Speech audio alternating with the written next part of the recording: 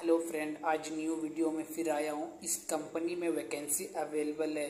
मैं आपको व्हाट्सएप में भी ग्रुप में मैसेज कर दिया हूँ और कमेंट करें, जिसको भी ज़रूरत है इस काम के लिए। डिस्क्रिप्शन में जल्दी से जल्द मैसेज करें। ज़्यादा वर्कर चाहिए।